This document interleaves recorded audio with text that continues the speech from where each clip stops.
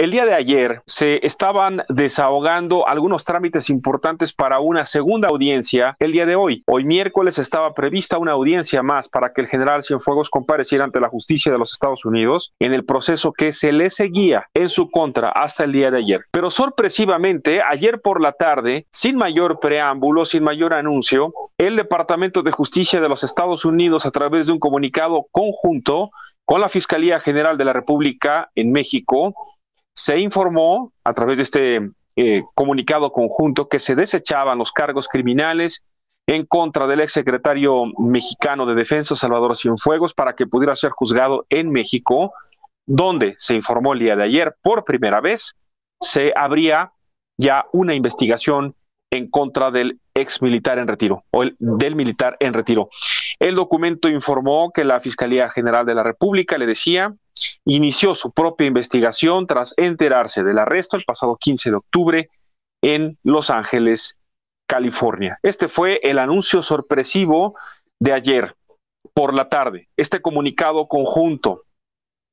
Pocas veces, pocas veces, subrayémoslo y vayamos desde ahora haciendo las anotaciones pertinentes, hay comunicados conjuntos como el de ayer entre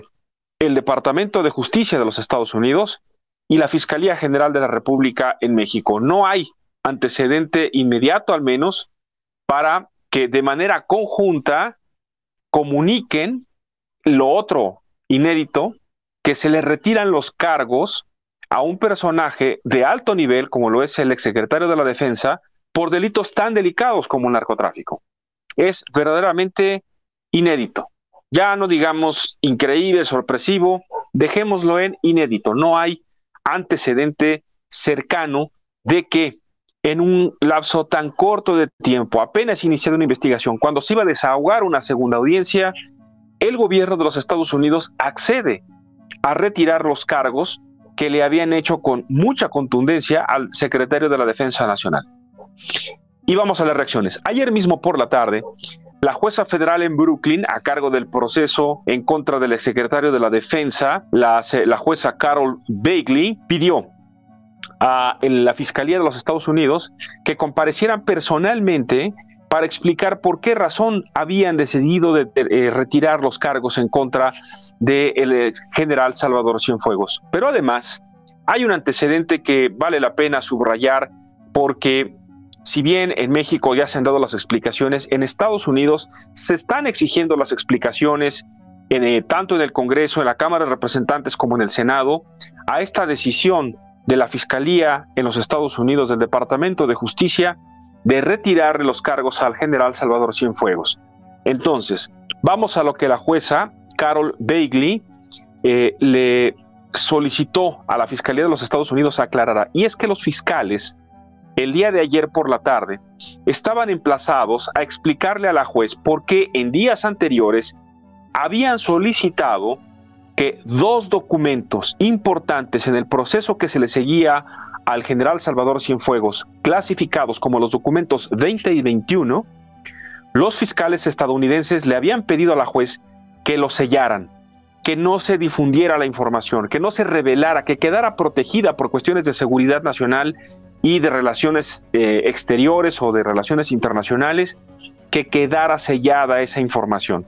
La jueza digo, dijo, los jueces, los fiscales van a tener que explicar por qué razón quieren que esa documentación quede cerrada. Pero ya no sucedió, ya no tuvieron que comparecer los fiscales porque sencillamente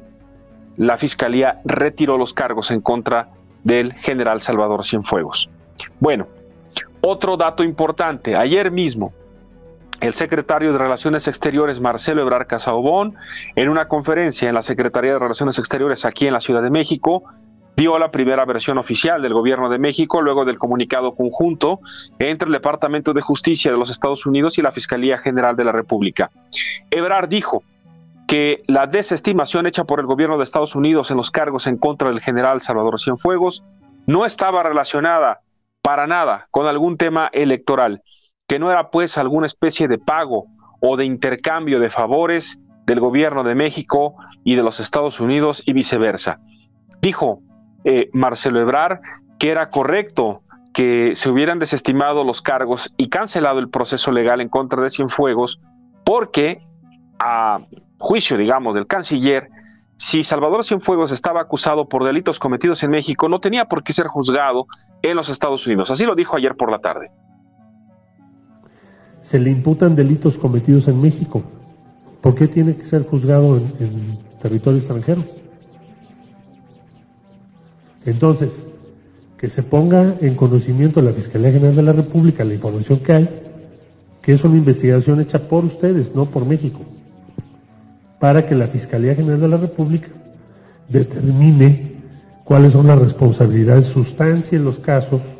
o los argumentos o los potenciales delitos o presuntos delitos y actúe en consecuencia. Ese es un, criterio. El otro criterio es si hay las bases de confianza que debe haber, porque si no las hay, pues lo que se aplica en un caso se aplica en todos. Hay, hay confianza en las instituciones mexicanas, entonces